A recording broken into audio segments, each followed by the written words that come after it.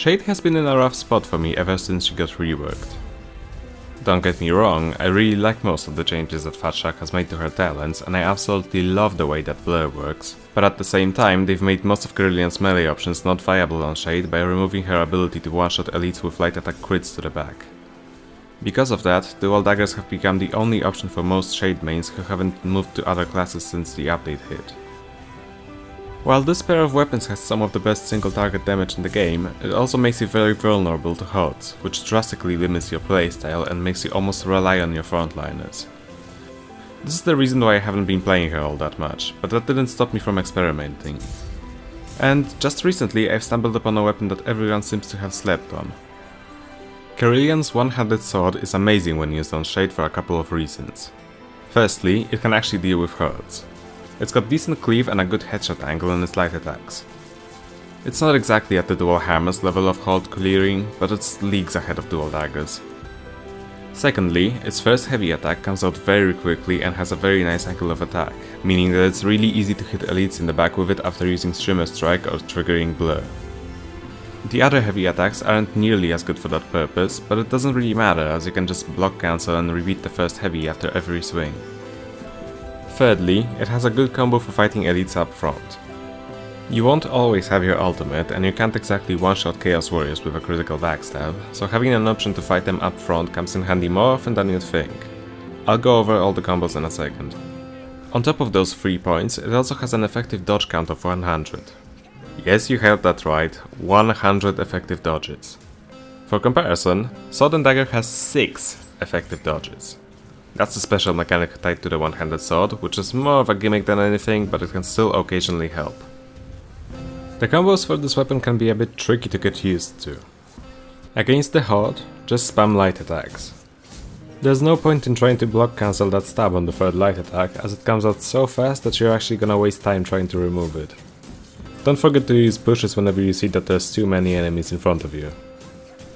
When fighting elites from the front, use the heavy into light combo and go for headshots. This combo deals very consistent damage, especially with all of the headshot buffs that we'll get from our talents.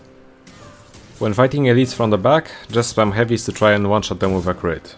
You won't be able to one-shot elites with the light attack anyway, so don't bother with the previous combo. Lastly, you need to know that both the first and second light attack skip the first heavy attack so don't be surprised if you start charging your swing after fighting the Horde and it comes out at a weird angle. If you see Kerillian preparing an attack from the upper left or bottom right, just keep doing heavies until you get back to the vertical one. Or just block cancel, that works too.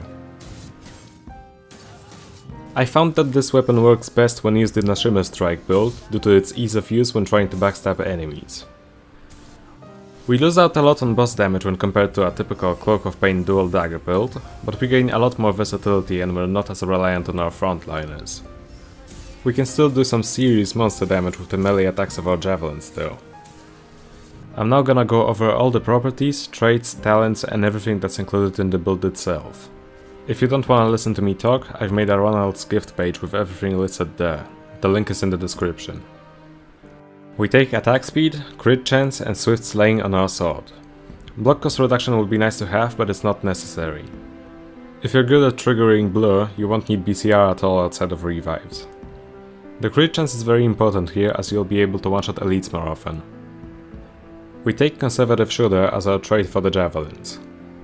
This lets us bypass a reload every now and then, which lets us kill some of the horde before it gets close and chain elite kills at a distance.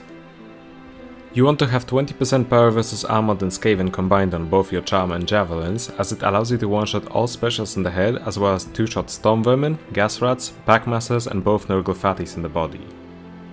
The trait on your Charm is up to you. I love taking Concoction, as it guarantees us an ultimate recharge from any potion, so I can leave purple pots for someone else.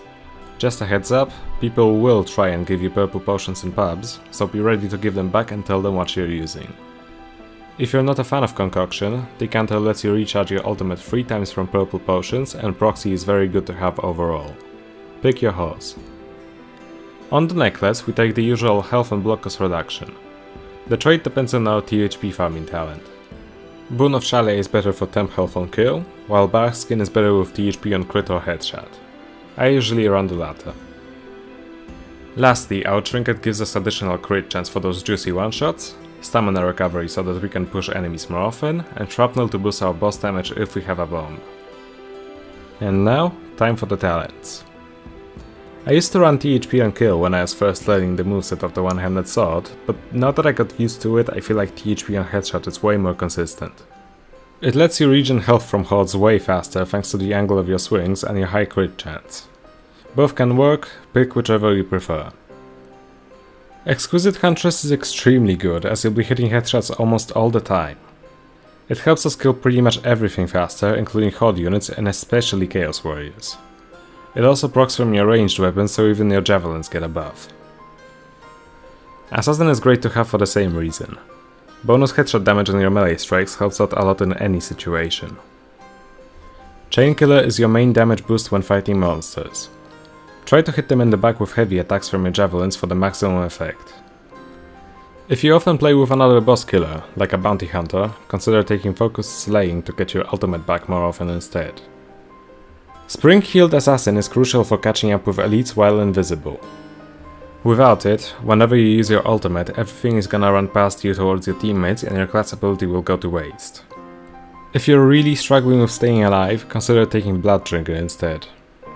Lastly, Shimmer Strike pairs best with the sword.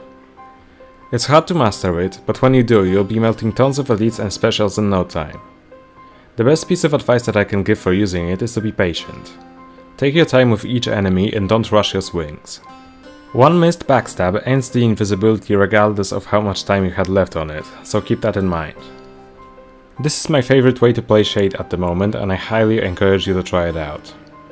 You can stay way closer to the front line and you're not as reliant on your teammates to clear the way for you. Use your sword for fighting hordes, elites and monsters when they are focusing you, and use your javelins to clear hordes from a distance, snipe specials and to hit bosses in the back with your ultimate.